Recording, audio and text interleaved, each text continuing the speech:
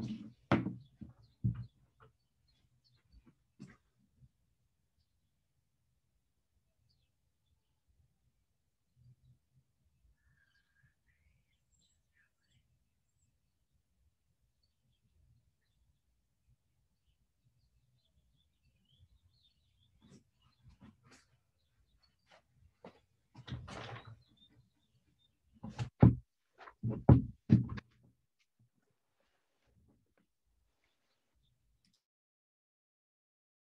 Um, if this time doesn't work great for you, I've gotten some feedback from, parents that this is a little early uh, and, and interferes with bedtime. So I'll be sending out a survey after this to kind of just get feedback on what you'd like to see on the agenda, any recommendations on times, days. I want to make sure that this meeting is as accessible to um, everyone as possible and, and not to say that we can't switch it around and um, try different things. So I will set that there. Um, tonight we have uh, some fantastic guests with us. We have Emily Tatro from the Council for Court Excellence. Um, they put out a fantastic new report about the criminal justice system in DC. I will caveat this and say that I'm very biased. I um, had the pleasure of working with Council for Court Excellence uh, in my previous uh, role in, in strategic comms. And so I am a huge fan of the work they do, especially for district residents and communities. So they're going to talk about the new report they have, um, as well as some recommendations on the community level that as we're thinking about violence intervention opportunities and um, community programs for us to engage with that we can consider uh, the well-researched report findings that they have. Uh, after that, we have Lashonia Thompson from Cure the Streets in the Office of the Attorney General in DC, uh, who is also going to engage with us. I think she's uh, joined previous meetings of um, ANC 5B03 and ANC 5B to talk about the program more broadly and what Cure the Streets does. But I think today we're hoping to really engage on a conversation on a micro level and figure out which which one of those programs or what opportunities they have can really be put into place by our community here um, in the next you know couple of months. So that's what I have on the agenda. Um, after that, we're going to have uh, some time for Q&A and any community feedback to raise any concerns that you have that maybe are not addressed here. So with that, um, Emily, I will give you, if you don't already have permission to share the screen, let me know. Um, but I think you should have. No, not yet? Not yet. Okay, here, let's try this. Uh, does that work? You should yes. have, perfect. Okay, great. You'll just have to pass it back to me at the end. No problem. Great. All right. Can everyone see my screen? Yes. Okay, great. Um, and I have a hard time keeping my eye on like the chat and the faces and everything while I'm presenting. So if you I'll want take care of the chat, just do it. Um, otherwise, obviously, we'll take questions and everything at the end. Um, but good evening, everyone. It's nice to meet you. My name is Emily Tatro. Um, like Prita said, I'm, I'm the Deputy Director at the Council for Court Excellence, um, which is a nonprofit that's been around almost 40 years now in DC doing local justice reform, um, research, policy, education, and advocacy work. And CCE was one of um, a couple of organizations, including the National Reentry Network for Returning Citizens, that helped to staff the task force's work. So I'm here to talk to you tonight about the new report, um, which is called Jails and Justice, Our Transformation Starts Today. It is an 80 point implementation plan to invest in safe communities and to lower DC's incarceration rate by half. It also proposes steps to regain local control over pieces of DC's criminal justice system, ending the use of federal prisons within 10 years, and creating a new non-traditional facility here in DC that would house all people still detained pretrial or sentenced to incarceration for a DC crime, um, among many other things. So before we jump into the details of the recommendations, I want to uh, give you a little bit of background on the task force's process. The task force is a 26 member independent advisory body. It was founded in 2019 and dedicated to really uh, redefining DC's approach to incarceration.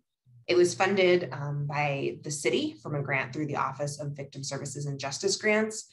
And the task force focused on doing deep community engagement work, um, building citywide engagement, centering the voices of people with lived experiences, understanding community priorities, and building community-based solutions.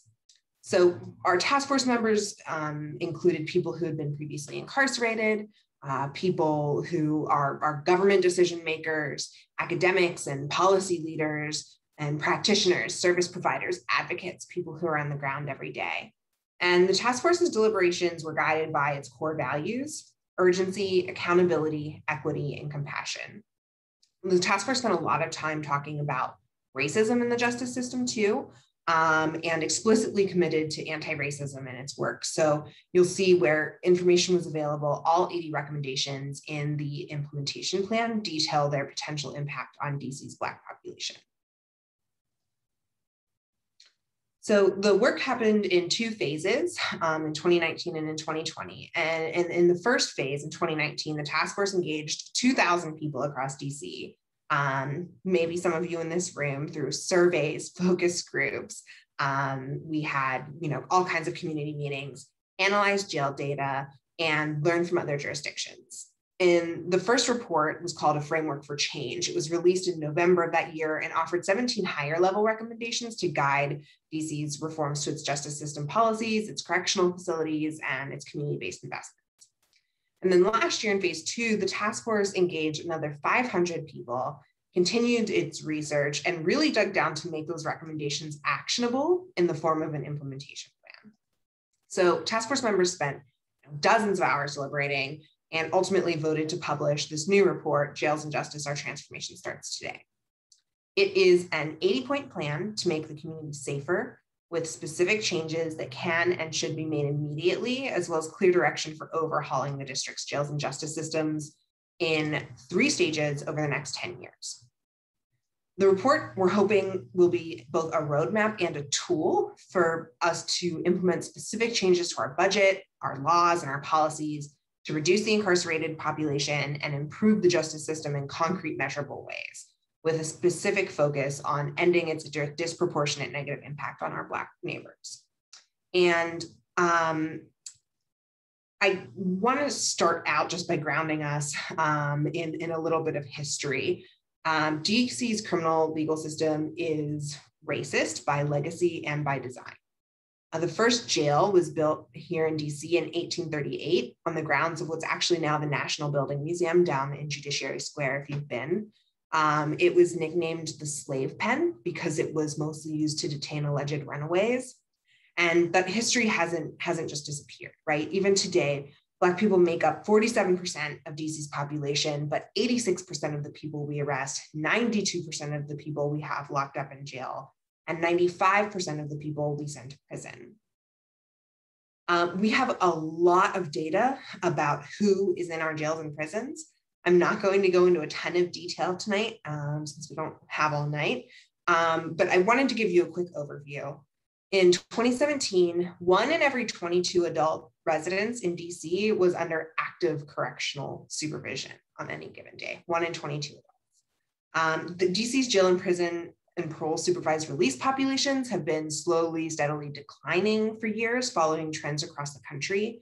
But our arrest and our probation rates actually started climbing back up um, five years ago in 2016.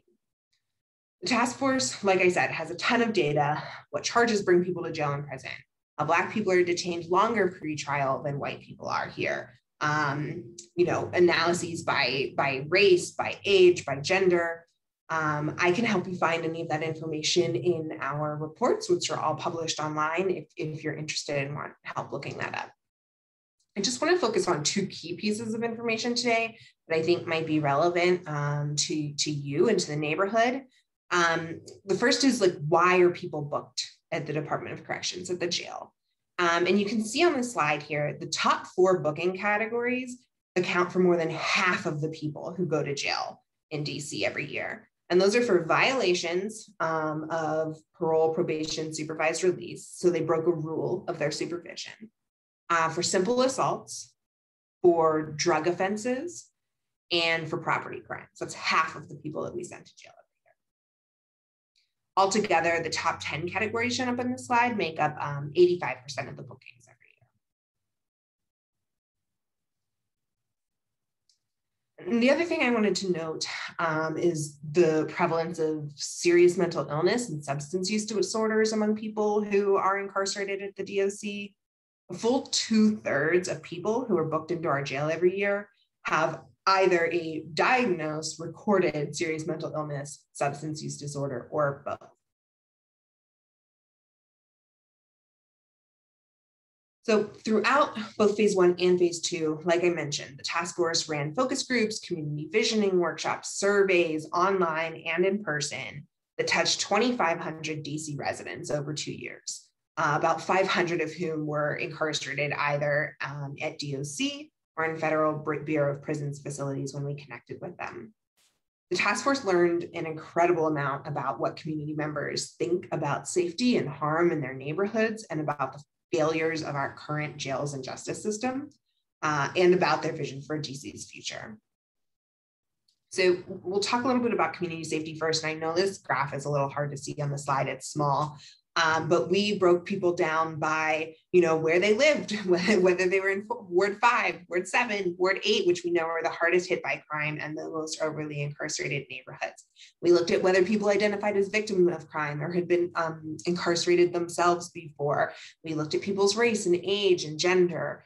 And in the phase one community survey, um, one of the questions we asked was how much someone agreed with the statement, crime is a big problem in my neighborhood as you can see, the people who um, feel the least safe are those who have been incarcerated and those who identify as victims of crime. We also asked people to rate the statement incarceration is the best way to handle people who get arrested. Um, and 70% of our respondents disagreed. People really don't think that jail works.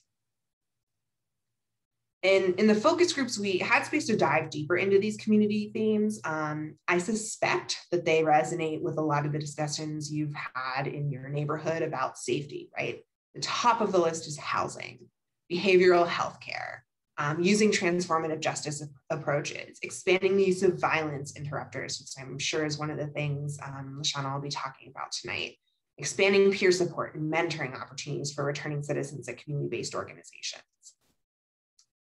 In phase two, we also had the opportunity to survey people who were serving DC sentences in BOP prisons, um, specifically about their release and reentry. And we had 450 people respond, and their top concerns about coming home were getting healthcare, finding a job, and building community trust and support back.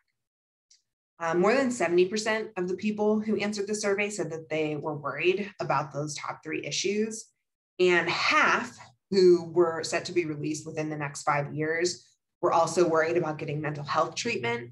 Um, and a third were worried about the access of substance use disorder treatment when they got home.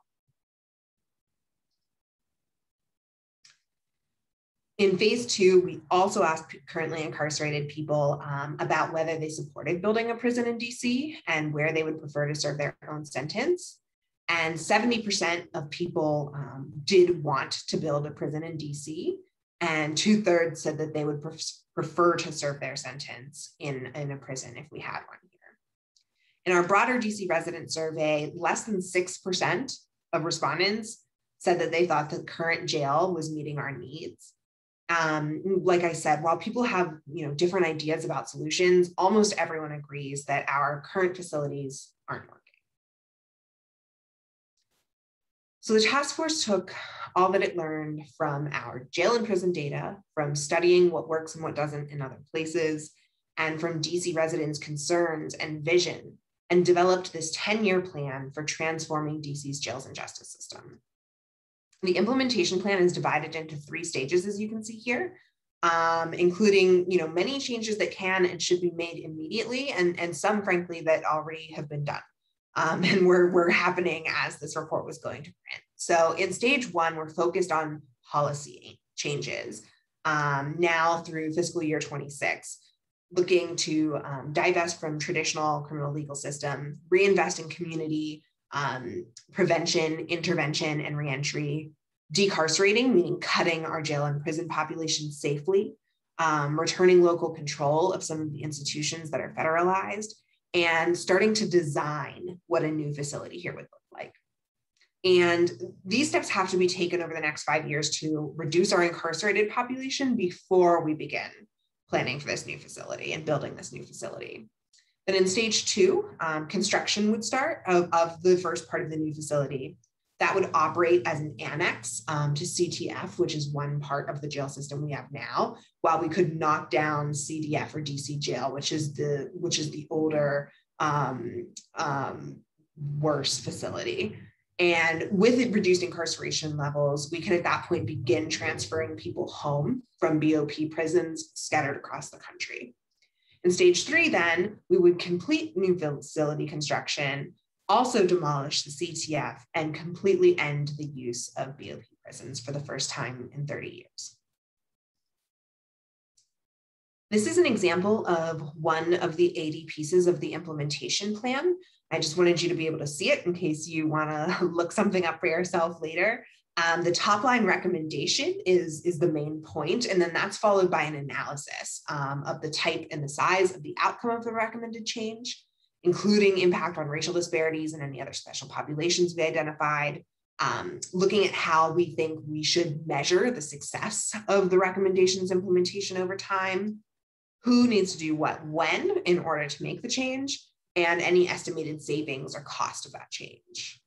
Um, the task force, you know, did, didn't have perfect information, of course. So not all of these are filled in for each recommendation, but we're continuing to collect data and research uh, to help fill in the blanks. So please reach out if you have questions about something that isn't there. I also want to note um, for you more wonky types, um, if you're looking, this this piece of the report doesn't contain citations. Um, it was already so long and so complex. We decided to leave those in the committee reports. So if you're looking for the research and the footnotes, um, it, it is all in the committee reports and, and I can help you find any background information you're looking for there as well. I want to run through some of the recommendations quickly, um, and starting with some budget actions since it's you know about to be that time of year in DC. And many of the task force recommendations involve divesting from traditional criminal justice system functions uh, and reinvesting those funds in evidence-based programs that build community safety. So um, we know that the pandemic will make this a difficult budget year, right? But these are all actions the district can make simply by moving funding from one agency to another rather than creating new funds. So for instance, the task force recommends that DC reduce MPD's budget uh, by up to $140 million per year over five years um, by terminating its school safety contract, by spending less on crowd control supplies and military style equipment, and by reducing its patrol force by 25% over five years. Um, that reduction in patrol force can be done solely through attrition since fiscal year 14, between 4 and 10% of the sworn force leaves MPD every year. But here's the thing, we don't want to just reduce spending on MPD. This isn't about um, you know, milking their budget dry or leaving people with equipment that doesn't work. We want to also reduce their responsibilities and reduce their workload. So two of the ways the task force proposes doing this is by moving civil traffic enforcement from MPD, um, things like you know running stop signs and registration stickers and and and and you know headlights, things that don't present an immediate threat to public safety, and moving that traffic enforcement to the Department of Transportation instead. And the second proposal is to move certain emergency response away from MPD. Um, we get 60,000 911 calls a month in DC. And um, so many of them aren't emergencies that require a person to, you know, a law enforcement officer to show up with a gun. Um, and not only do they not require it, um, it, it's not necessarily a helpful response. And so we want to update our 911 and 311 systems so that calls can be triaged um, and that police and fire and EMS are not the only options for emergency response anymore, but the, the Department of Behavioral Health's community response team can actually be added as a first responder and can respond to people in crisis um, who are likely to need or want a treatment intervention instead of police, or in conjunction with police where the situation would require that. DC will also see savings from reducing its jail population. We spend a lot of money on keeping people um, locked up at the Department of Corrections. And the task force makes a bunch of recommendations that will lead to fewer incarcerated people at the jail and specifically reduce over policing and over incarceration of Black people. The um, next task that we are putting before the city is um, you know this this specific decarceration at the jail so doing things like maintaining the covid-19 responses responsive changes to mpd's citation release and field arrest orders um, that allowed them to detain fewer people after they arrested them um, limiting stop and frisk raising the age of juvenile jurisdiction in dc to 21 uh, eliminating presumptions of pretrial detention and instead of assuming that some people need to be detained before they go to trial, just requiring the judge to make an individual determination for each person. Um, setting, maximum probation and supervised release periods at two years, and prohibiting revocations of probation and supervised release for most first time technical violations, things like failing a drug test or um, failing to meet with a, with a with a um, supervision officer. There are a lot more recommendations and a lot more details in the report, um, and I encourage you to check that out if you're interested to see how we think all of this can be accomplished. Other task force recommendations are aimed at reducing the number of people we send to prison and reducing the length of time that people stay there. Some of these recommendations include things like repealing all mandatory minimums, um, amending DC's Second Look Act to allow people who have served at least 10 years in prison um, to ask the court for a resentencing, expanding eligibility for good time credits and compassionate release, like we did this past year when the pandemic hit, um, and expanding work release and home confinement, which is something else that was done a lot this year, this past year, and was done successfully and safely. Um, and beginning operations of DC's clemency board. We, unlike the 50 states, have never had a clemency board in DC. Our clemency applicants always have to go um, through DOJ and through the president, and only one person that we know of in, in the history of our city has ever been granted. The goal here is to reduce DC's incarcerated population by at least a third, but really by half over the next 10 years. And CCE ran projections based on our Department of Corrections and our Bureau of Prisons data, um, and then all of the task force's recommendations. And this is an absolutely feasible goal. By focusing on the whole criminal justice system, the task force was able to think really differently about what DC's detention facility needs are too. So reducing the combined jail and prison population um, to the 2,900 to 3,800 range, that would be cutting two to 3,000 people um, and bringing them home, means building a new non-traditional facility here in DC that houses both people who are pretrial and those who are serving their sentences. For the first time in 30 years, we can stop using the BOP, bring people home from all across the country to DC, and have a say over the environment and the programming that's available to them. DC, like I said, will demolish its two jails, CDF and CTF, um, in stages and, and end using the 122 prisons so that by 2030, we have one single facility left for everyone who's in, still in the system. So why am I here? How can you help? Um, as you are keenly aware, uh, in order to change our budgets and our laws and our policies, we need our elected leadership to hear loud and clear from voters that they want to transform DC's jails and justice system. Um, we'd love to have your partnership, uh, you know, as, as a neighborhood, as individuals, and advocating for implementation of these of this plan. Um, this year, the task force is really focusing on their recommendations to divest from MPD and invest in the Department of Behavioral Health and the Department of Transportation. Um, we're also focused on passing better criminal record sealing and expungement laws. We have some of the most restrictive laws in the country. And we one in every seven adults in DC has a publicly available criminal record. It really hurts people when they're trying to apply for jobs and apply for housing, which we know people will be doing a lot of coming out of this pandemic. Um, and we don't want people's records to to you know be used to discriminate against them and to disproportionately hurt um, our black neighbors. So there's actually a hearing on April 8th if you're interested in, in voicing your opinion on those bills. Um, and, and the third thing that we're really focused on this year is the local control of parole. Right now, all of those decisions are made federally. And next year, the US Parole Commission will be sunsetting, and DC will regain um, paroling authority for the first time in uh, 20 years. And we need to get ready for that. We need to figure out where we're going to house that authority and what rules we're going to put forward. The task force has a bunch of recommendations. Those are the three things that we're going to be focused on fighting for this year. Um, the other thing is that we're doing briefings like this, you know, all around the city. So if you have another organization, um, you know, your church, your virtual game night friends that could benefit from hearing this, um, please put us in touch. If you want to stay more generally updated um, on the task force's work, you can sign up for our newsletter.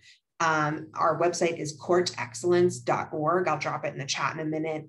Um, and we'd also love to hear from you about what's working and what's not working in your neighborhood. Um, the task force, like I said, we talked to 25 different, 2,500 people over two years. We want to keep that conversation going as we implement these recommendations. Um, so my um, contact information and links to the reports are on the next slide.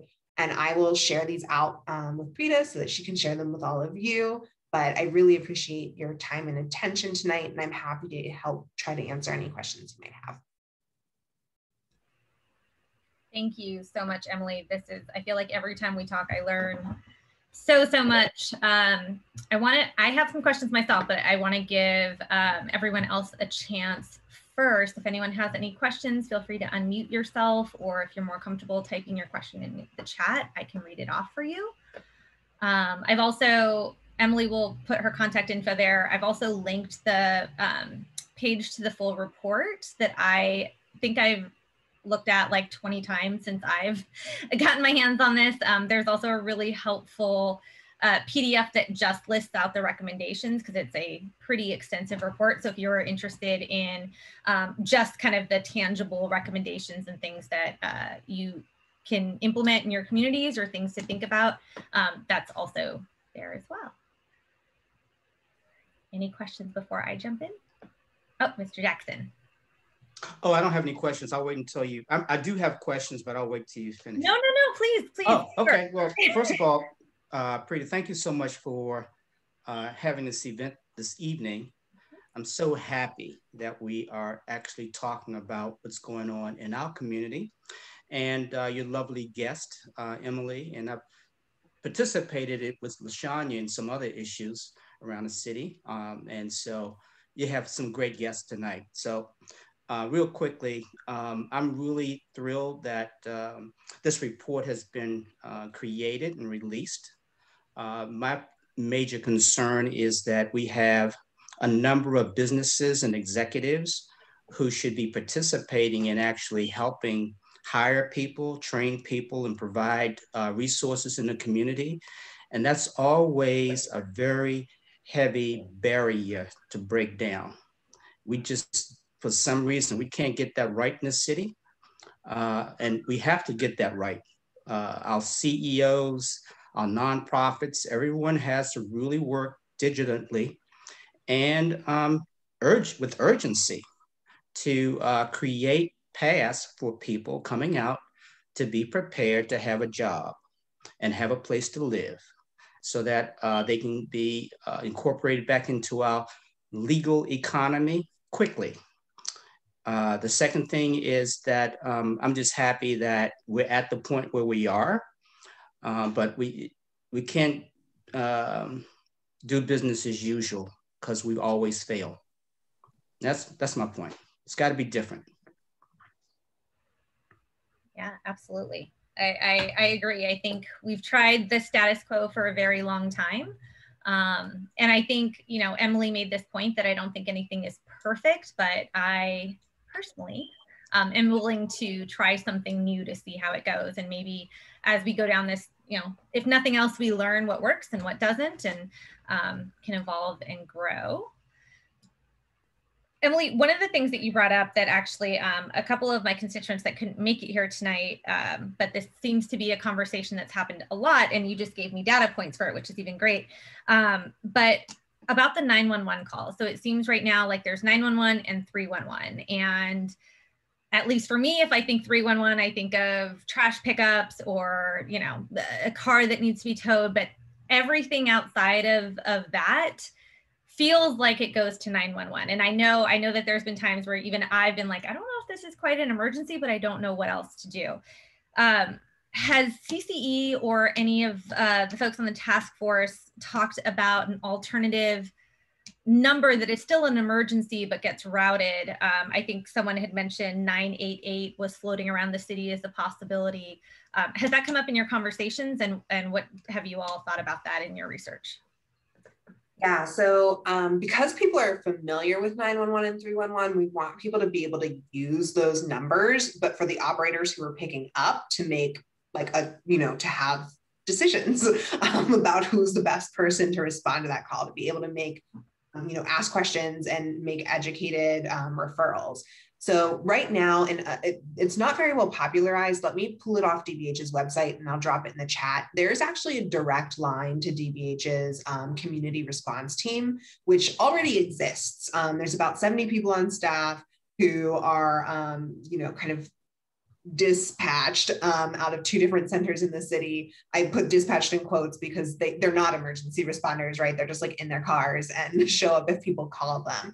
Um, but they're a community response team that will respond if you, you know, report someone on the street who looks unwell. Um, if you see someone who looks like, you know, they they are homeless and need need or want services, um, and and they'll show up and they'll figure it out. Um, and MPD officers can also call them directly if they're encountering someone or if they're on a call and they want a um, mental health professional to show up or they want advice on what they should do with someone.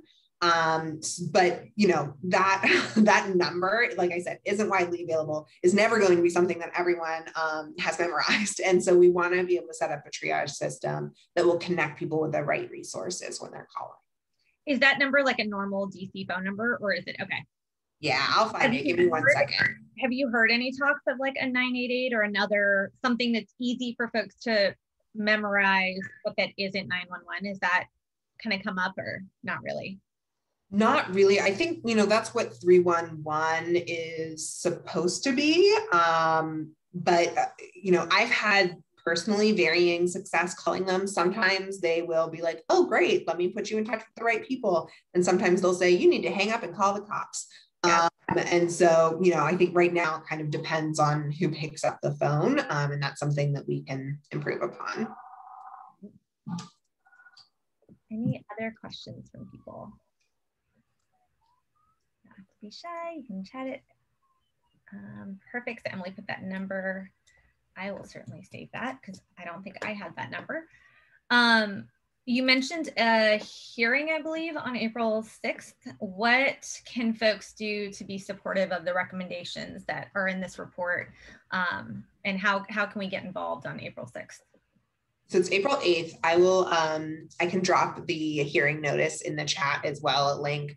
Um, we are fighting to you know expand eligibility so that more people can have their records sealed more quickly. Um, in dc even if you're arrested and you're never convicted they drop the charges it was the wrong person whatever you still can't get that off your record for years um, and it's just not like that anywhere else. Um, and it's not it's not a good system. So um, if you you know have some time out of your day and you want to sign up for the hearing and testify that would be amazing. If you want to just you know write a quick note to the committee that says that you support this moving forward that would be really helpful. Um, if you want to write or email um, the members of the judiciary committee um, it, it's not, it's not, I live in Edgewood, so I'm also in five. Um, it's not Councilmember McDuffie, um, but Councilmember Allen, Councilmember Bonds, Councilmember Gray, Councilmember Pinto, um, and I'm forgetting one person, Councilmember Cheh, um, are on the committee, and you can reach out and, and let them know. This legislation was originally introduced back in 2017. We had a hearing in December and it has been sitting for three years. So we're really, really trying to move it forward and finish it out this time. Right. And do you have, um, not that I need to add even more work to your plate, but do you have any type of draft letters or notices that folks can use and tailor for themselves, but can use as a, a guiding document to send to um, committee members or to the the council as whole? Yeah, we did a sign on letter at the end of um, last year trying to get people's support to get this hearing scheduled. Um, so if you give me a second, I'll link the hearing notice in the chat and I'll also link um, to that sign on letter so that people can pull language from it. Perfect. Thank you. And I will make sure to um, circulate these documents around for everyone that's on the call and may not have time to capture it right now, and then also for our um, neighbors who were not able to join us tonight. Any other questions for Emily? Yes, I have another question. In Ward 5, uh, in particularly Brookland Manor and Brookland along the avenue, um, whether it goes all the way down to um, Woodridge going towards Merlin, or whether it goes down towards uh, North Capitol Street. Uh, what kind of coverage do you feel that we are getting in these communities? Because we do have quite a bit of activity going on. Some of it is nuisance activity. Some of it is uh, really horrible violence. And there's a number of factors that we have been trying to uh, get control over for some time.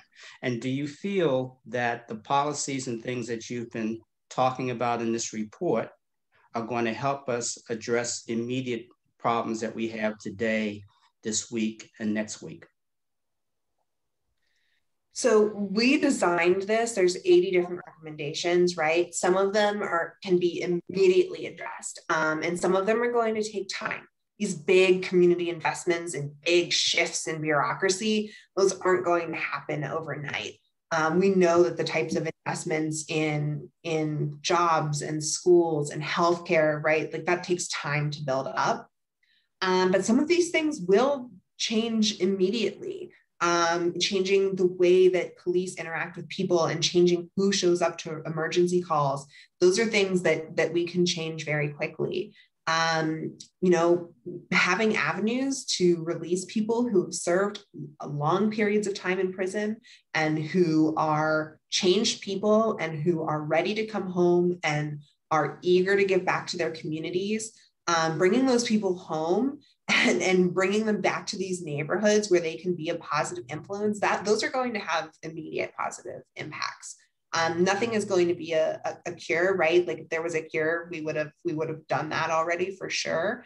Um, but we've we've done a lot of research, um, and we know from from from looking at other places and from looking at, at what's working in certain neighborhoods here in DC that these will move us forward. Thank you. All right. There are no other questions. Emily, thank you so, so much for your time and for your whole team and their uh, their hard work on this this project. I know it was a labor of love and you put a lot of time and effort into it. So thank you. Keep up the good work. And uh, I'll make sure to send around all of these links um, as well as the report and your contact information so that everyone has it and knows how to reach you. Yeah.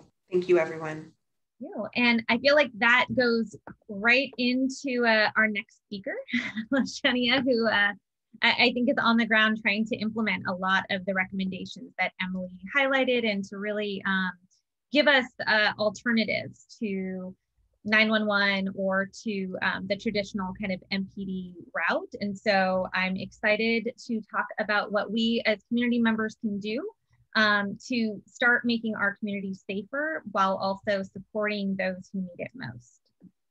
So I will leave it over to you. Um, let me know if you have slides or anything you want to share and I can give you screen sharing ability, but the floor is yours, Ms. Thompson. Thank you so much, for, Commissioner, for having me. And thank you, Emily, for that presentation. I've had the opportunity to hear it a few times now and I learned something more each time. I really appreciate the work that CCE has done on the Jails and Justice Task Force. I also have with me this evening Amin Bill, and I really want to take an opportunity to introduce Amin because I think he is the most informed on our team as it relates to the OAG functions. Because as you may know, OAG is responsible for a lot of different things throughout the city. And Amin has been there for a while and really understands all the other units and how to get things done around the city. And he also has been on a lot of work with DCRA throughout the city dealing with things like um, nuisance properties and things of that nature. So I want people to know that he is on a call. He's a part of the violence reduction unit. But if you have any questions about city issues in general as it relates to OAG and DCRA, I believe that Amin will be helpful in answering those questions. We also have Alan James on the call. He is the co-chief of the violence reduction unit. Alan has vast experience working with Cure Violence Global in other cities throughout the US. And so um, throughout his lifespan, he's been a program manager and he's done a lot of work around gun violence prevention. And so is here also to offer wisdom in any questions that you may have about national programs that actually work.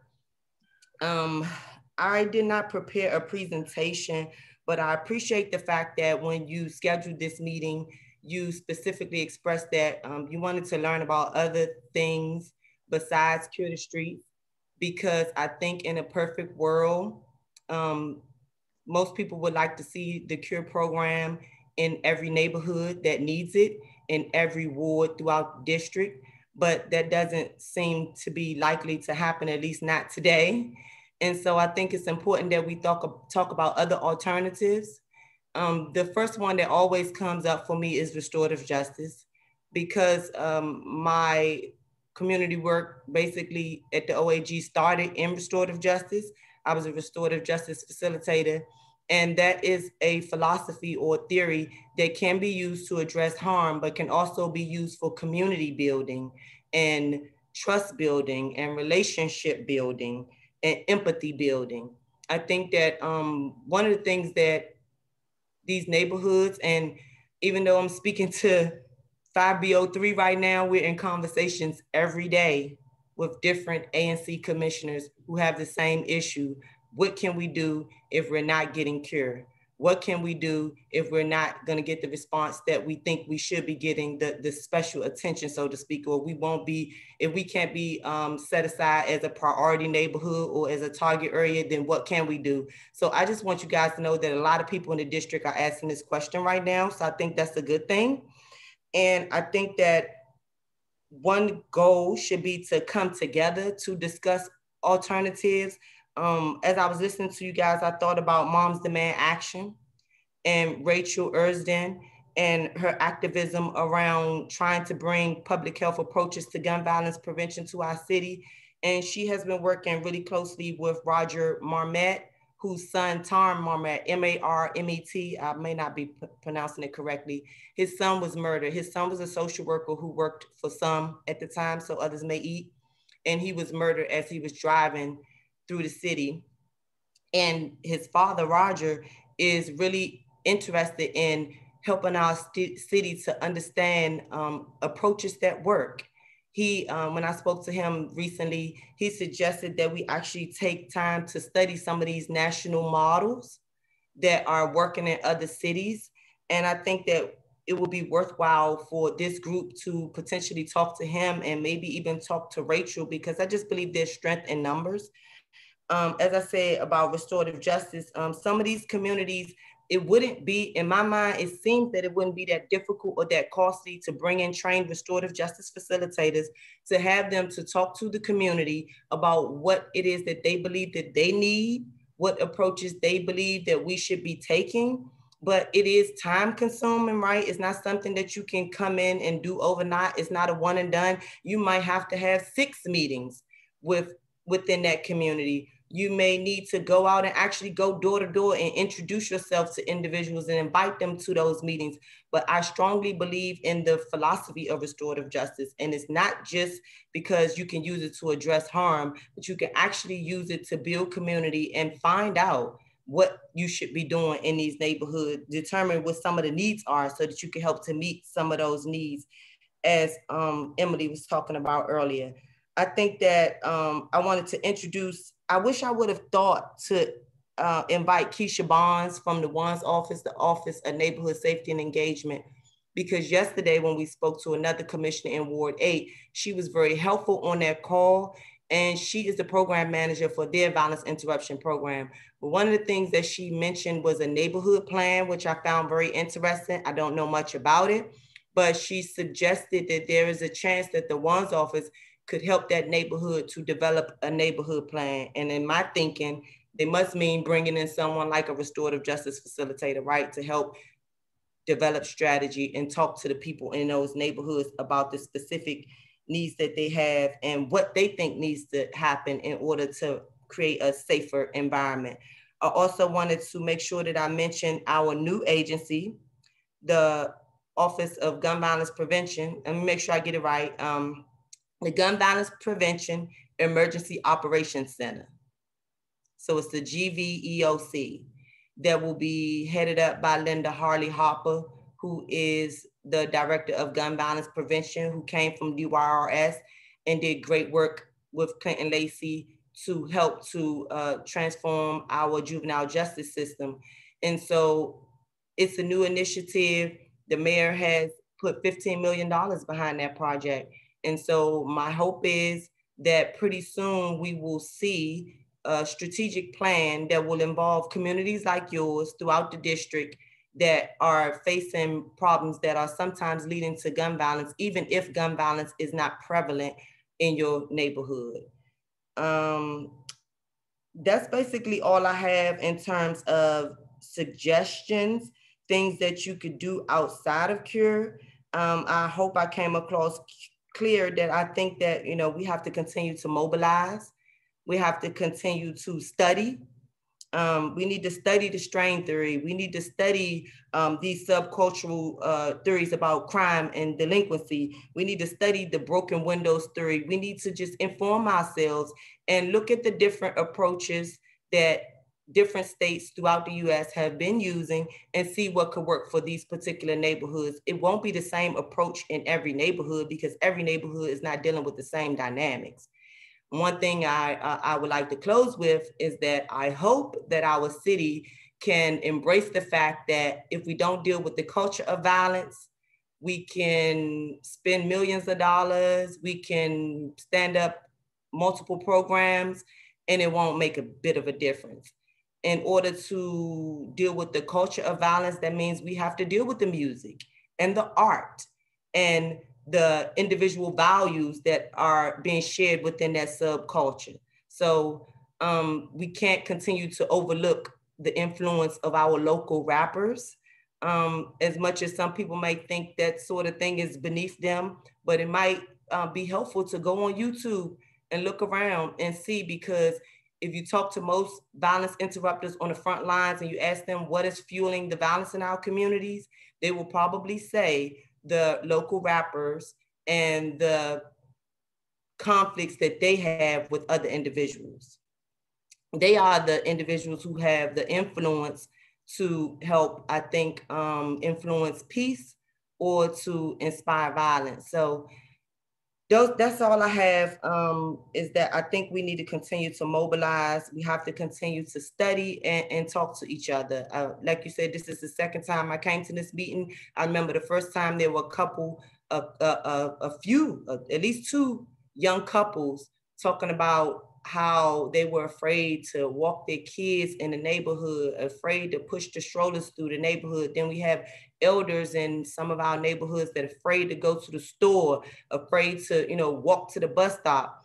And um, I think it is great that we focus on those targeted neighborhoods that have been plagued by gun violence, that are dealing with concentrated poverty. But I also, I am personally a proponent of supporting the whole city supporting, um, putting cures, for lack of a better word, everywhere where they are needed in order to prevent the spread of violence or poverty or harm or whatever it may be. So I appreciate the fact that we're having these conversations about a citywide approach.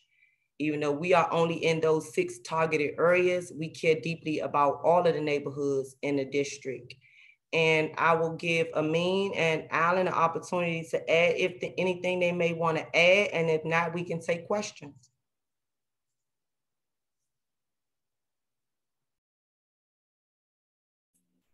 Um, Alan, do you have anything?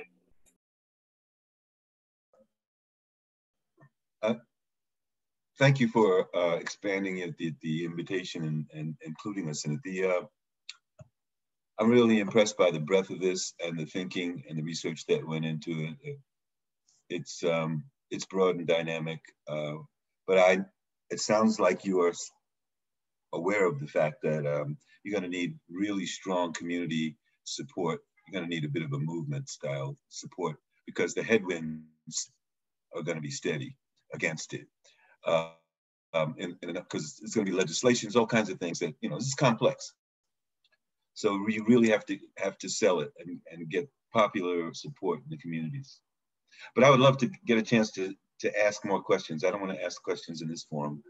Um, but um, thanks for inviting us again. I, I would like to get a chance to discuss this further and ask you some more questions about the task force and the test and the plan. We would love to have you be part of that, that ongoing conversation. Um, Mr. Amin, I want to make sure I'm not cutting you off if you had something that you were going to add.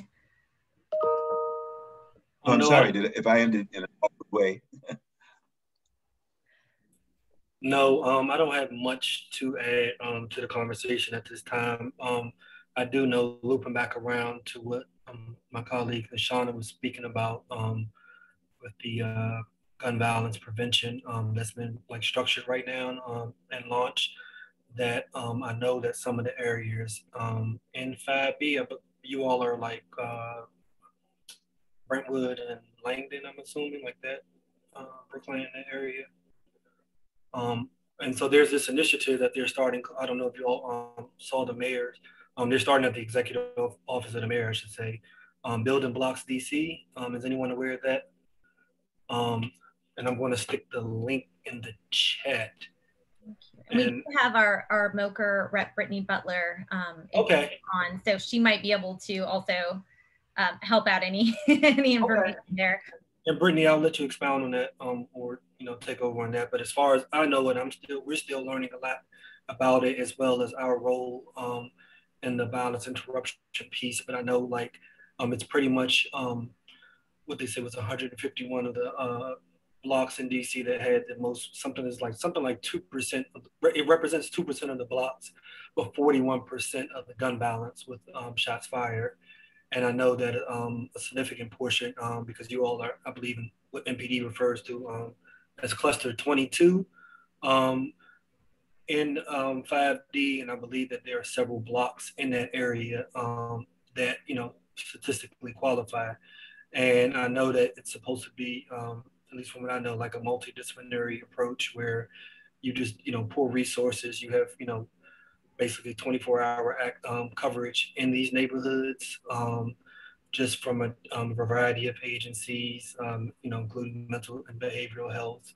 Um, you know, even things like um, DPW, and I know that Shauna mentioned earlier, like DCRA, because I, you know, at least from my perspective, and I live over in Ward 8 that a lot of what I see, you know, there's some commonalities between violence and, you know, substandard living conditions and property conditions. And I believe, you know, not to push on that whole broken windows theory, but, you know, I see, you know, I, I see a lot of correlations. And so this is supposed to be, you know, that thing. Um, and I'll let you all, I, I stuck the slideshow in the chat um, if everyone, anyone wants to copy that. So that seems to be more the immediate future, like kind of like the big picture um, things that they're rolling out soon. So we're trying to coordinate with the executive and, you know, again, see our role, the coverage and everything like that. So, you know, I'm personally excited um, that that is launching. Um, and, you know, I'm going to roll up my sleeves and do my best and give my 100% um, to be part of that. So that's all, that's all for me. Thank you. Thank you. Thank you. Does anyone have any questions for Mr. James, Amin, Ms. Thompson? Yes, I do. so um, I'm curious about the amount of time it takes to train uh, the people who are actually providing the services. I know before, and I know that that's part of you as you're building your team out. It, it takes some period of time to um, train personnel who do this work in the communities. And it helps to have representation from people who actually live in, in some of these communities to participate in some of the work that you that you folks are doing. Um, and I'm just curious to find out if there's been any um, um, information, results that you had from training, I don't know, 50 or 60 people over the last two or three years, where um, it may take 90 days in order to prepare people to do this kind of work? Um, are the numbers and the money and resources coming in to help do the work in the communities? Because this is a big job. We haven't done this kind of work in quite some, I don't, we've never had this kind of focus before in our communities. Um, and in Brookland, a, we have a lot of older people like myself but we also have younger people coming in like Prita and some of the other, other young families. And some of them have may, may not be familiar with urban living and how important it is to have consistency in terms of um, uh, people interacting in a neighborhood that are doing good productive things as opposed to folks who are doing non-productive things.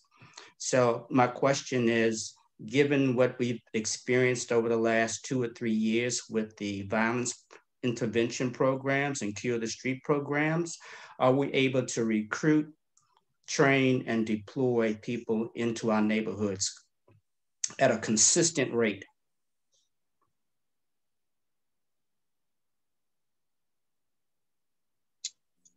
Well, since since my, my colleagues uh, are not saying anything right now. I was trying to talk. Uh, I'll say this. That, mute, Alan. I was going to start and then oh. let you jump in, Alan, because I know you have a lot of experience with training throughout the nation, but I just wanted to specifically speak about DC. Sorry for the delay in my mute, I'm um, taking off my mute button.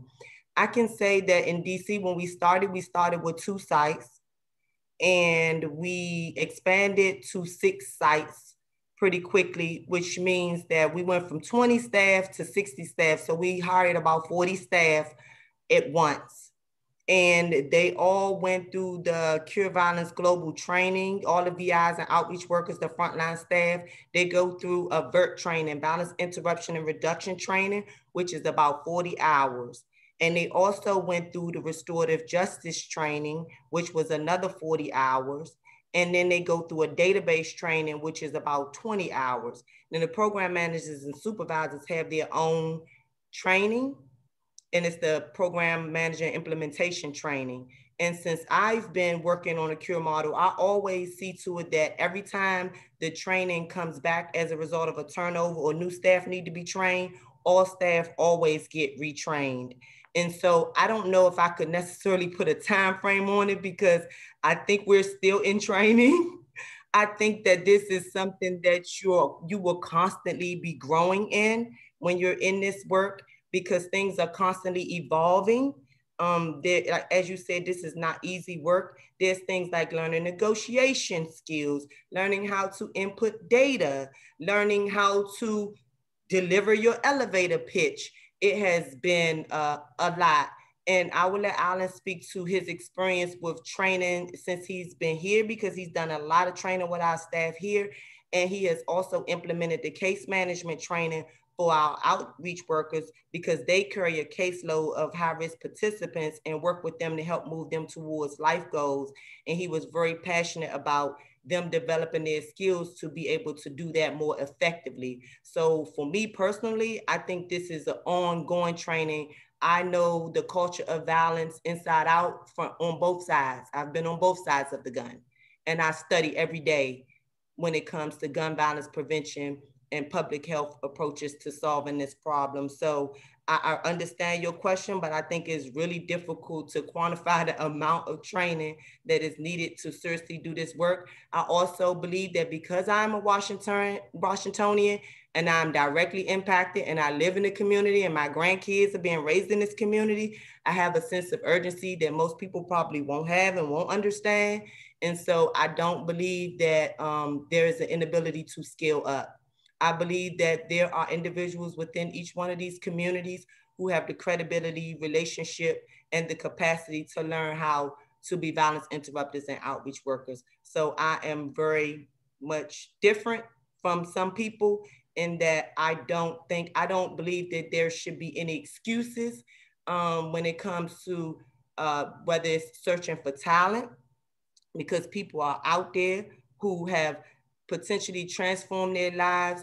They have the ability to learn and they want to learn. They have the passion and, and they can do it. It will take a lot of coaching, a lot of work, and a lot of training to get them to where we want them to be, right? They won't start out as experts, but I think this is something that can absolutely grow. And like I said, my sense of urgency, it doesn't allow me to, to make excuses. Um, I think that, you know, we have the people in our neighborhoods who can do this work and it's not going to be without the risk, right? It's not going to be without um, scary because you're talking about 60 people who were not hired because they were church boys or choir girls right? They were hired because they come from high risk communities and they sometimes understand the norms that we're living by and, and they have transformed their lives and they understand now that it, you know, they're living examples. And so sometimes they relapse. Sometimes they decide that, you know, this is not necessarily like the lifestyle for them. And that's very difficult, I think, when you're dealing with a, a, a bureaucratic system, right? Because somebody got to take the hit for that. Somebody got to be responsibility responsible for that. So if you go from 60 staff to 120 staff, you have a greater likelihood that more people could potentially relapse and more people couldn't possibly not take to the training and, and not do well. But I think um, it's safe to say we've had more people who have committed to this work than those who have not. Thank you for that. I really appreciate right. that answer. I have nothing to add to that. Thank you, Lashonia. I, I appreciate that. And I, I agree. I think for this work, it's so important. And I think with a lot of nonprofit work, I think you need to hire from the communities that you are serving. Um, that perspective and that insight that comes with being there is, is something that I don't think you can teach um, so thank you for, for raising that up. Are there any other questions that folks have for anyone on this team?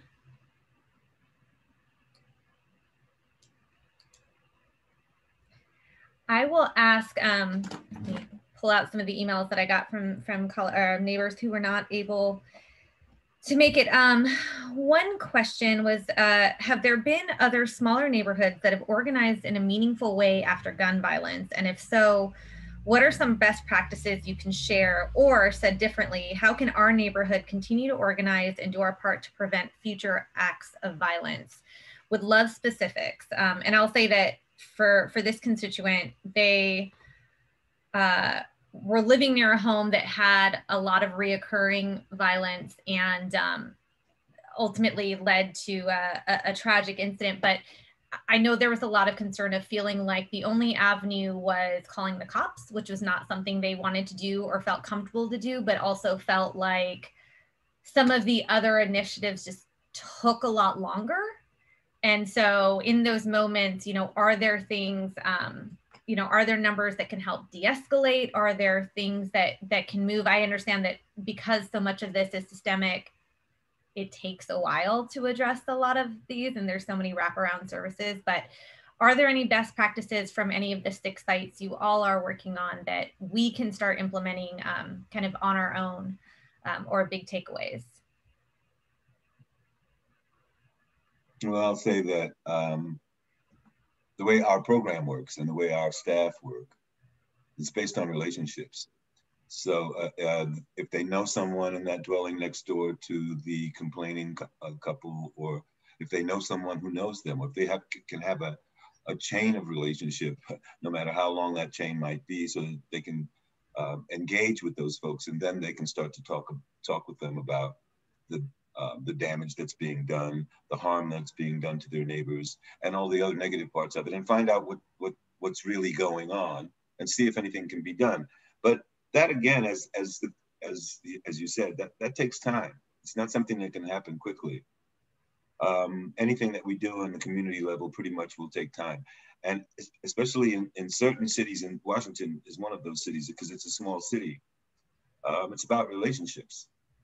And um, so as much as you can capitalize on relationships, there's strong possibility that you can solve a lot of problems without um, without getting the authorities involved. But that is not to say that there's not a proper time to call the police.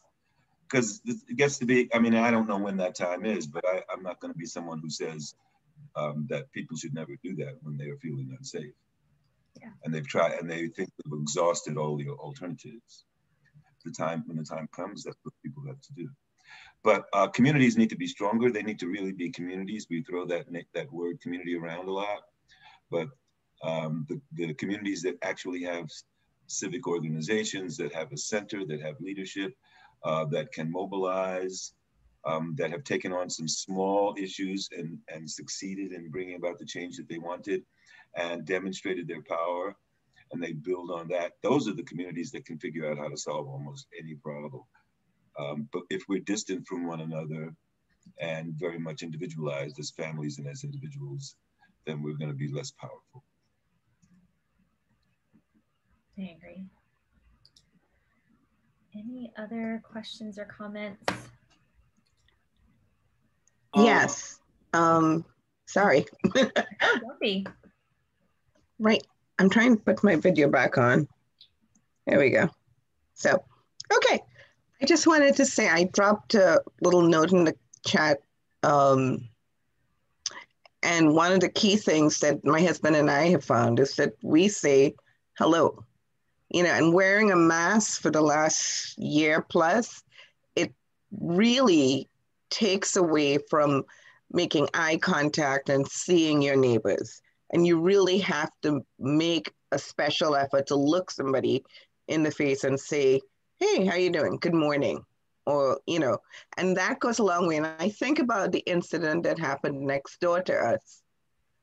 And what concerned us as a family was there was violence. There was a home invasion first of all the way we saw it happen and um, I'm not going to go into that part, but I didn't hear anybody when speaking about this incident talk about the impact on those children in that home. And to me, as a, you know, I my practice area has been child welfare. I'm not practicing in that area right now. But to me, that was crucial because they heard it all and they had to walk past bodies. And, you know, I want to know how they're doing. I want to know what happened. And knowing now that they never came to remove any of their clothing. So they just walked out of that house, some of them in handcuffs, some of the, all of the adults actually in handcuffs and the children. And that's what I'm concerned about. Because that's where the next, that's where the trauma is, is really happening. And, um, and I'm sorry, yeah, you got to call the police, but we really have to be mindful of the depth of systemic racism anywhere, especially as it pertains to Washington, D.C. And we need to be mindful of where we are and make sure we're not othering everybody else.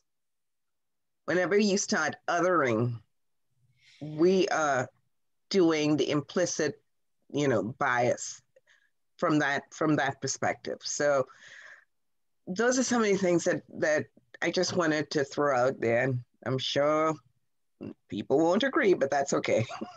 I'm used to that. And disagreement is not bad. And I really, really would love if we could just think about community events. What can we do?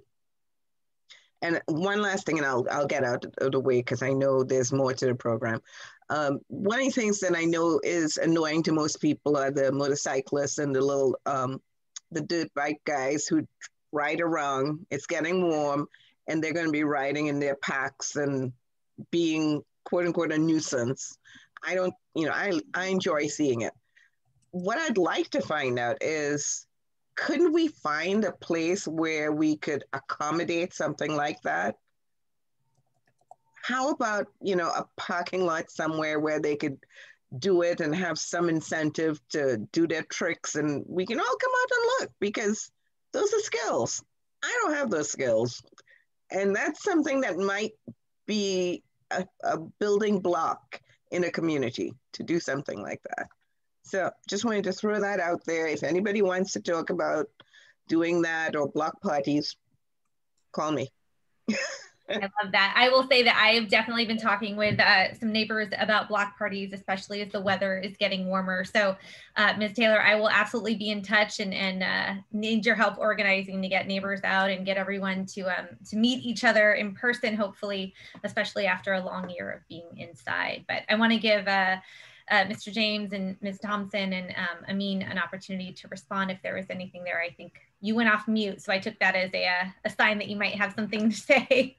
Yes, I just was feeling everything you were saying, Miss Belinda. I would love to keep in contact with you. I love your train of thought. And I just put in the chat, you made me think about Dr. Matt Beal and the work he's doing with young people to try and prevent trauma. And we, I think my team and probably everybody on the cure team as well, we all believe strongly in the notion of treating trauma, especially with very young kids. If you ask any of the people in these neighborhoods where they first learned violence, Many of them will stay in the home and in the community. So you are spot on.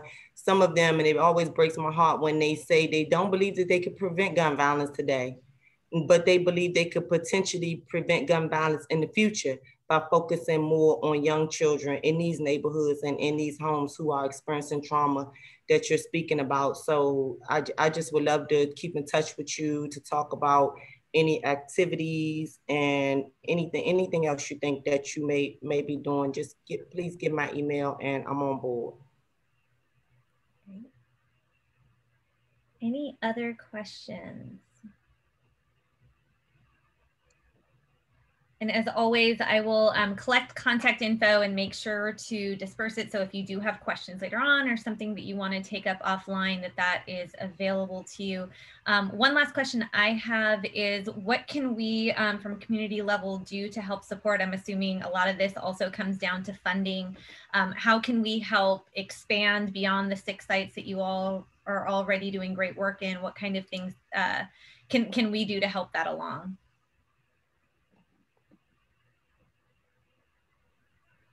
Well, say, it's um. Yeah. Go ahead, Lashonia. Go ahead. I think, Mr. James, you have you have the floor. Well, I, I was just going to say that um, it's it's um, it's a political situation, so you should make uh, organize the community and make a case to your representation um, and, there, and all of this is, these programs, the establishment of these programs is preceded by some study and some data analysis, etc.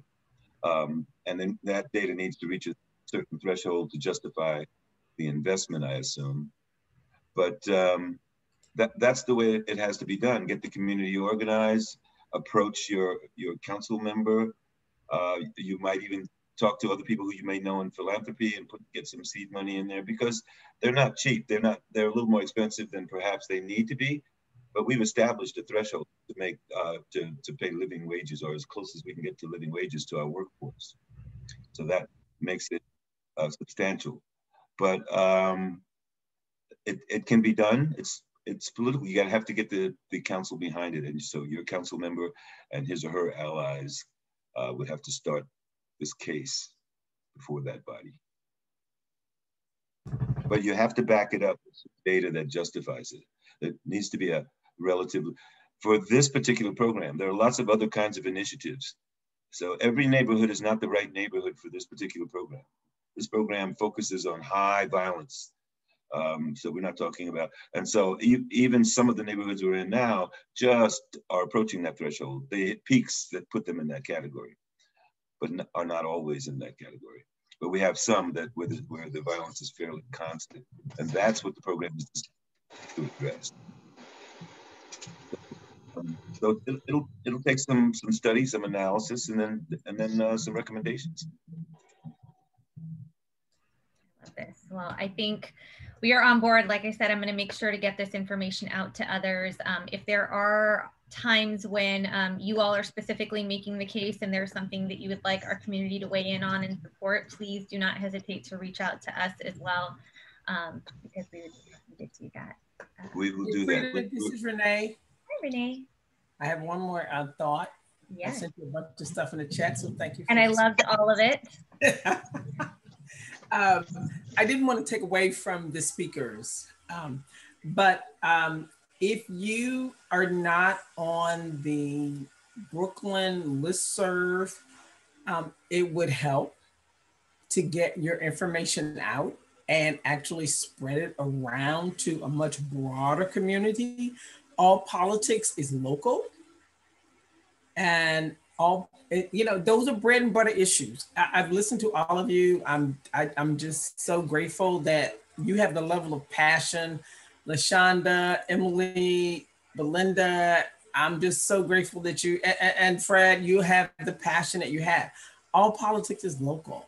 Um, so if you are not connected to like the Brookland Neighborhood Civic Association and on their um, email, the Brookland listserv, um, the um, what's the other one? I'm blanking out. I'm blanking out. Howard Eastern, the, all the five B listservs um, uh, and and social media.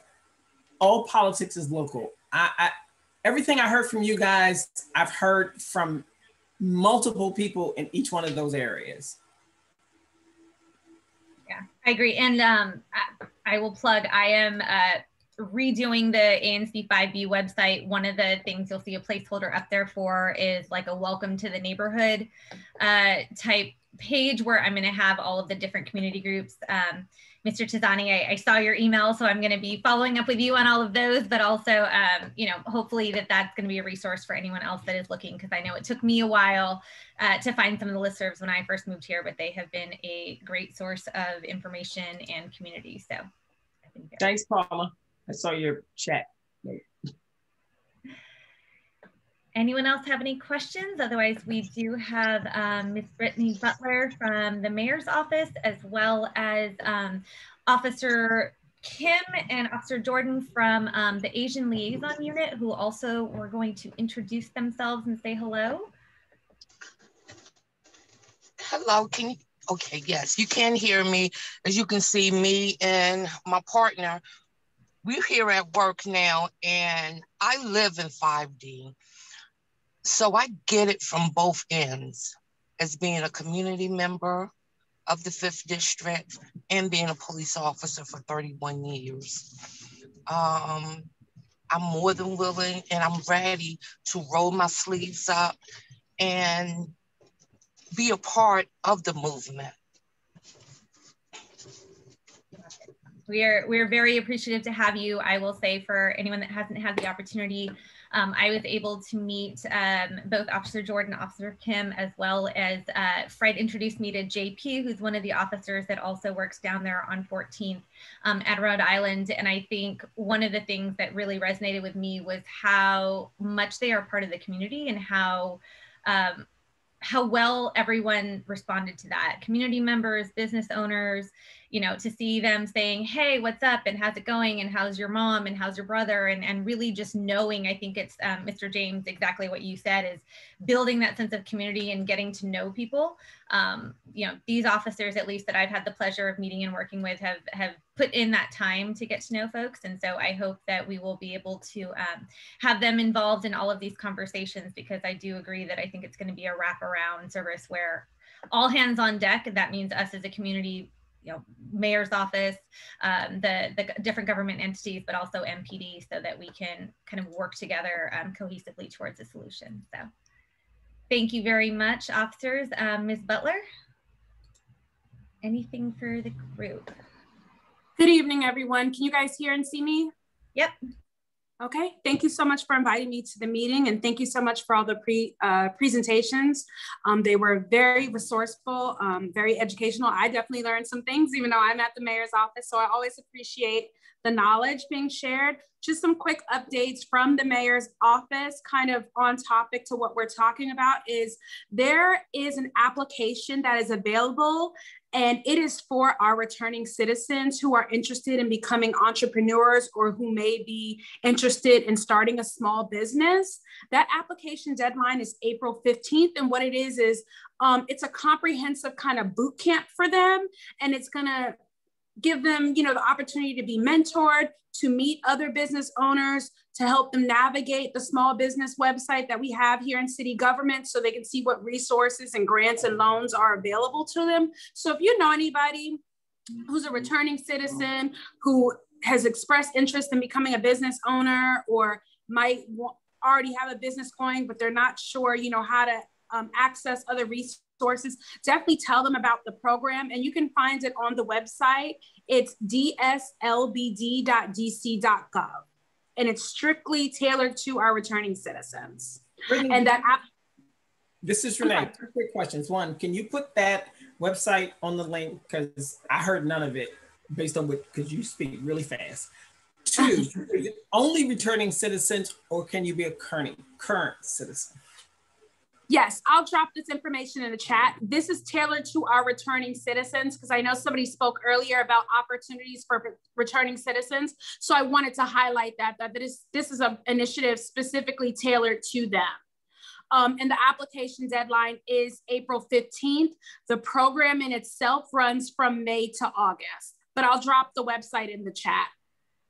The other um, thing I wanted to highlight tonight, kind of on brand with public safety, is April is Nat- National Sexual Assault Awareness Month. And there are some really good resources and information on the National Sexual Violence Resource Center. I will drop that website as well. It's www.nsvrc.org. So if you know somebody who's a victim of sexual assault, if you are working with victims of sexual assault, this is definitely a good resource for you. I also wanted to highlight one other put that thing. in the, in the in the chat too, right? Yeah, I'll put that in the chat. Um, I also wanted to highlight one other thing um, surrounding safety is, as you guys know, we're still in a public health emergency.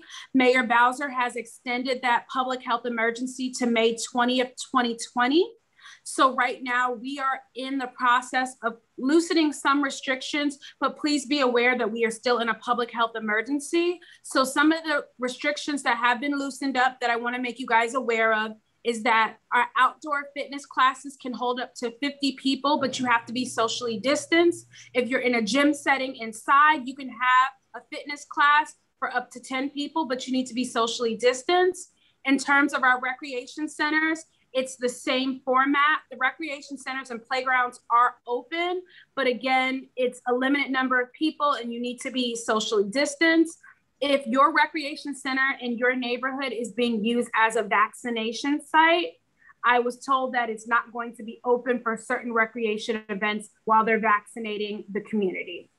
So please keep that in mind. I also want to let you know that movie theaters, they're going to be open, but no more than 25 people in the auditorium, socially distanced.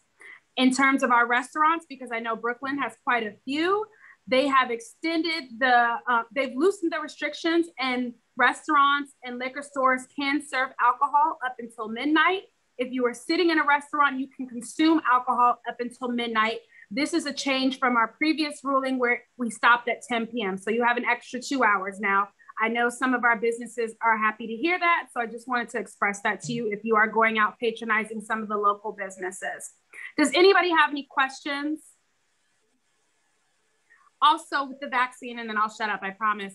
If you know any seniors who are homebound, or if you know any persons who are homebound because of certain medical issues, please send me their contact information. We are working on an initiative right now. I don't have any details yet because we're still working out but to get our homebound seniors and our homebound people vaccinated. So if you know anybody who's homebound and wants to get the vaccine, please reach out to me. For everybody else who's interested in the vaccine, please go on to vaccinate.dc.gov to pre-register.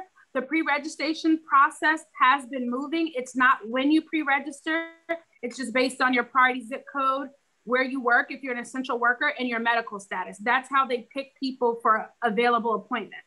It's not. So oh, saying it's still in the phase mode, right? Yes, we're in a phase mode, but I, I don't want people to think, oh, because they pre-registered on Sunday, they're going to get an appointment for, before somebody who pre-registered on Tuesday. You still have to meet certain criteria. Okay. All right. Thank you guys so much for your time. I'm going to drop this information in the chat. Thank you, Ms. Butler. And thank you, Shona, Alan, uh, or Mr. Al Mr. James, uh, Mr. Amin. Thank you so much for being here, as well as for Officer Kim and Officer Jordan.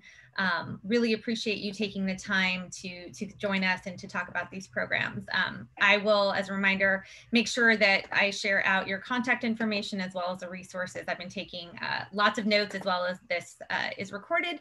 So I'll make sure to get all of this out so people can um, follow up with you. Thank Thanks you. Thank you very much. Of course. Commissioner, have a good evening. You too. So now I just want to, I know we are over time and I apologize, but if uh, anyone has any community announcements, anything they want to bring up, this is kind of an open forum opportunity. Um, would love to hear from you.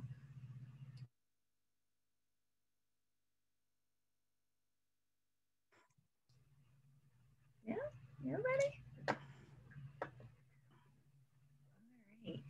Wow, that was, that was easy. Hi, um, actually, really quickly, I just wanted to introduce myself. My name is Philip, um, and I, my husband and I, we moved into this single member district in uh, December, and I'm just trying to get um, kind of up to speed on everything going on in the neighborhood and community. And I just want to extend my appreciation for these really um, helpful and important presentations you arranged for us. And um, I just want to thank you for for for that.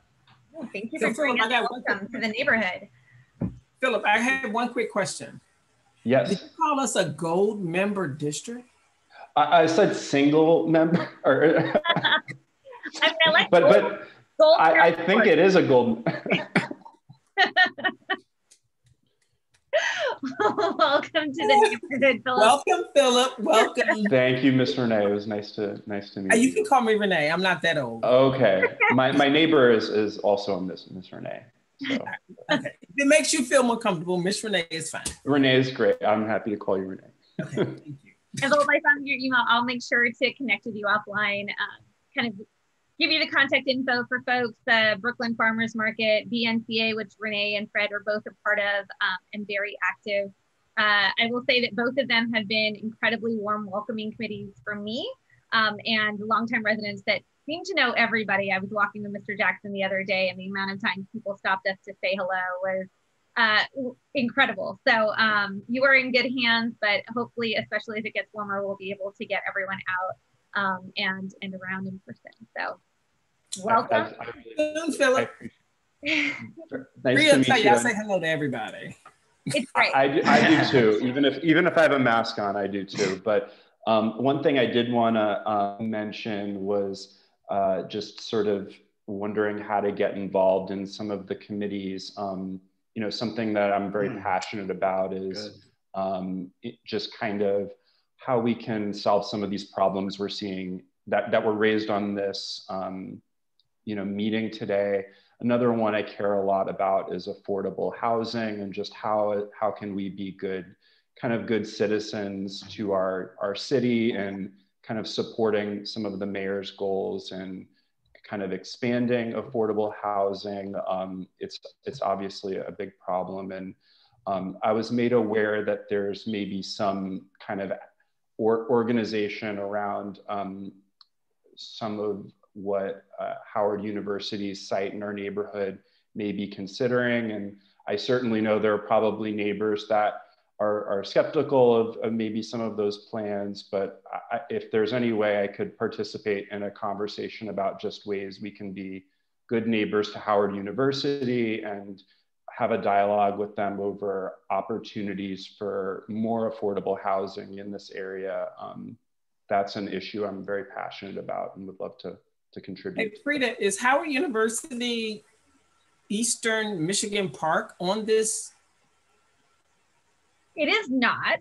However, what you brought up was a perfect segue um, and, and we'll welcome anyone's input and thoughts because tomorrow night we are actually voting. Um, so Philip, I'm not sure how much of this uh, you are aware of. Both Fred and Renee and, and some others were on our um, call last week for the full 5B where this came up as well as a meeting last night where it got a little heated. Um, but oh, no. there is a resolution about um, uh, some proposed uh, land use map amendments that are in the comp plan um, and so we tabled the vote last week because we unfortunately did not get the resolution until a matter of hours before the vote.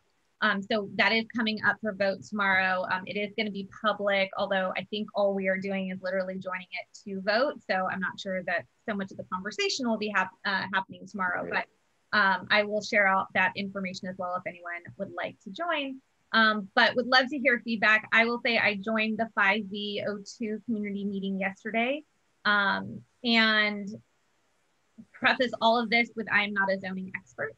Um, I have tried to have conversations with everyone, um, folks from the Howard East neighbors community that um, have put out a petition um, and were involved in the writing of the resolution, as well as I talked to some folks from the Office of Planning and um, Allison from the Office of Zoning to kind of say, hey, break this down for me. So try to, you know, really seek out information as much as possible from what I can tell, um, and open this up to anyone if, if I'm misunderstanding, um, there are some concerns about the updates to the land use map. However, the resolution in front of us at the moment, from what I could tell, has a lot of misinformation. Kind of at the at the the baseline, I think there were some flyers going around about this would increase property taxes. This would um, hasn't had an environmental study. Um, hasn't had uh trying to go through the list. And so i kind of ran through one of these one by one. From what i understand um, in my conversations with zoning and op um, the land use map is where it's a visionary document where the city thinks that there are the most growth opportunities um, but that is entirely separate from zoning. So it does not change the zoning laws at all um, nor does it i think one of the other claims that was made in in the resolution um, is that if the land use map changes, that it means that uh, the developers don't have to go through ANC, they don't have to go through zoning. I think the terminology was um, uh, uh, the right of right to build or, or, something. I'm getting that terminology wrong, but um, that is also not correct according to zoning. Uh, I also talked to Mr. McDuffie's um, liaison on this. So it is it is one of those things where it is a primer, so it does suggest that the city has identified this as a potential location for, I think in this case, moderate use um, or moderate density development is possible. It does not give a green light to developers. It does not automatically mean that it will be um, huge multi-use buildings. It just means that um, it is possible in the future that it, it could be looked at for that. Um, but they, all of the entities have, have told me that um, they can guarantee it does not change any of the zoning laws. So all of the process would be the same. If they wanted to do a, um, a PUD or any type of high density building, they would still have to go before the zoning board. They'd still have to go to the um, ANC to ask for support. They'd still have to go through the community. So I know that that, from what I can tell, that resolution in front of me is the biggest concern is leaving out the community voice in that decision. Um, so that seems to be i'm not i've tried to kind of call different people and see where that misinformation came from and i haven't been able to get it there but um you know i i, I want to put that out there that it seems like the open part of the comp plan was last year deadline for anc to submit a comment was february 14th 2020 um, ANC 5B, the Howard East neighbors, and um, the BNCA all did submit comment um, about that land use. And so that was all noted and Office of Planning did respond to that. So I can also share out the responses. I don't know if everyone saw those as well. Um, but that's kind of where we are in Howard East. I'll say from what I have seen, the resolution's in front of us, but there's not really anything moving on the Office of Planning side. Um, the city is taking up the vote on just the overall comprehensive plan. Um, so that is coming forth, but that the the land use map piece of it was already decided from what I have gathered. So uh, thank you. So for... Prita, just you and Philip the Howard East Neighborhood Gmail. Thank you. So that if there's something you're, you know, he can get, get a data dump. Thank yeah. you. And, yeah. and that's and that's that's sort of why I, I kind of prefaced it by saying I just want to kind of be a part of whatever these committees are because I, I expect this is a conversation. I may have a different point of view. I think it's normal if you're a neighbor to think, oh, I don't really want another apartment nearby. But I mean, when we're dealing with just people that cannot afford to live in Washington, it, it just seems like such an important human charge of us to really look everywhere we can, including our own neighborhoods, and say, what can we really do here to, to be helpful and, and move the needle? And so, you know, there's going to be disagreements. Some people, you know, don't want it, but also Howard University is just such a such an important institution in Washington. You know, um, my neighbors across the street, the Quanders, you know, a proud Howard alum, and you know, if, th- if this institution is looking to think of ways to use land that it has in 2021 that meet the needs of Howard while also advancing some of these goals. I would just want to make sure I'm a part of a community that is a good partner to Howard University and is kind of really showing, you know, that, that we want to work together to achieve common goals rather than fight and be, you know, sort of litigious and throw up barriers. You know, I, I just would, would not want to our, our community to sort of be viewed that way um, by Howard. Yeah, I agree. And I, I will say, you know, from a personal standpoint, um, I, I fell in love with Brookland. I got married at the St. Francis Monastery and driving back and forth, just fell in love with the neighborhood and honestly didn't think there was ever going to be an opportunity for me to afford to live here. But managed to scrimp and save and, and did. And I am so glad that I am part of this community and the amazing neighbors. so my my my goal is if we can add more neighbors, the more neighbors, the better. I think that's really what got me about this is, is how um, warm and welcoming everyone is, uh, like Ms. Renee.